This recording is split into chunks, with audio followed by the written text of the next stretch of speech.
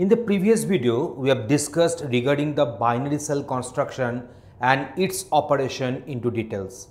So in this session, we shall discuss how this binary cell can be used for the construction of a RAM circuit. So in the previous video, we have discussed its operation that is a binary cell operation. So if you not having the idea, please watch the previous video for the better understanding of the RAM circuit. This binary cell here in the RAM circuit design, we shall be using the block diagram of the binary cell. So in the block diagram, we are having select line as input, input line as input and also read write selection line as input and this is our respective output of the binary cell. When the binary cell will get selected depending upon the mode either it will be selected in the read mode or write mode. In case of read mode the bit which is residing in the binary cell will be obtained at the output. In case of write mode, the new input will be written onto the binary cell. So, we shall use this block diagram in our RAM circuit construction. Here we are going to have 4 cross 4 RAM circuit construction. So, here is the detailing for us. Here we are having the 4 cross 4 means we will be having 4 binary cell across the 4 rows and 4 binary cells across the 4 columns. So, in total we are going to use 4 cross 4 that means we are going to use 16 binary cells. So, now in this particular binary cell all the binary cells are having the 3 input lines and 1 output line. So, now let us start with the circuit construction into the details.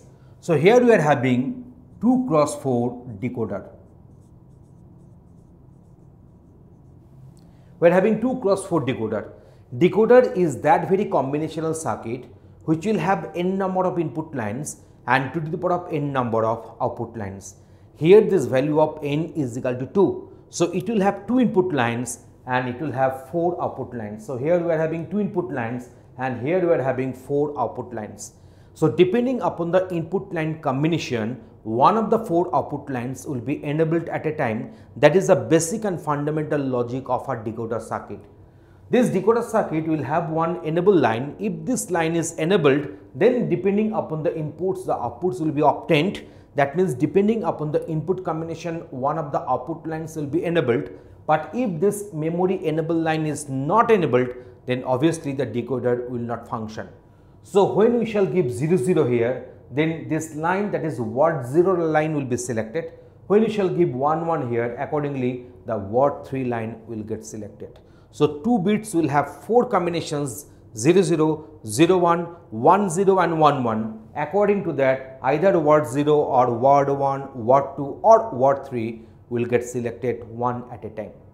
So, this particular output line has been connected to the select line of this binary cell as this select line is here.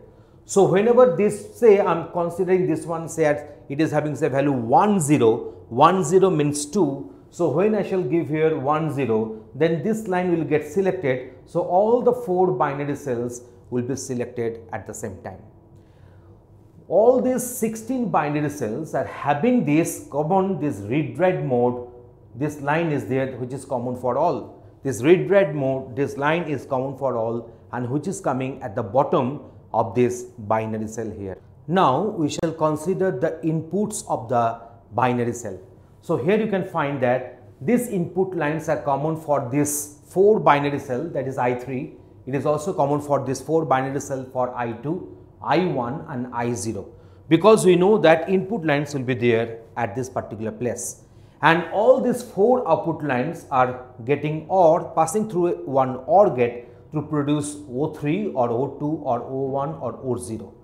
Now let us discuss regarding the functionality of this 4 cross 4 RAM circuit. Let us consider just for the sake of simplicity the input is 1 0. So, if this input is 1 0 then what to this particular line is getting enabled. So, all these 4 binary cells have got selected.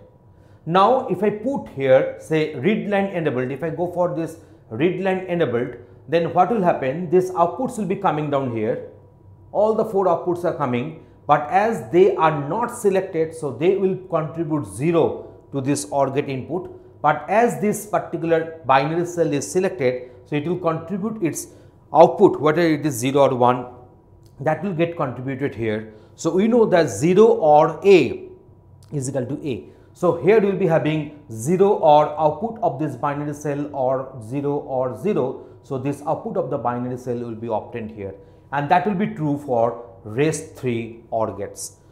Now, let us consider that we have selected this uh, mode in the write mode.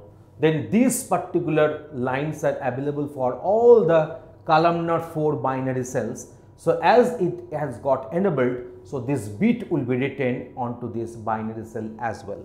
So, depending upon the selection line, depending upon the mode, either the data will be written or the data will be read from the binary cells. So, in this way, this 4 cross 4 that means 4 rows and 4 columns this particular RAM circuit construction we have discussed into the details. In the previous video we have discussed each and every binary cell and its respective operation and circuitry.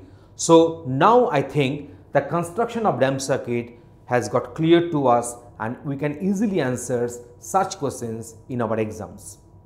Thanks for watching this video.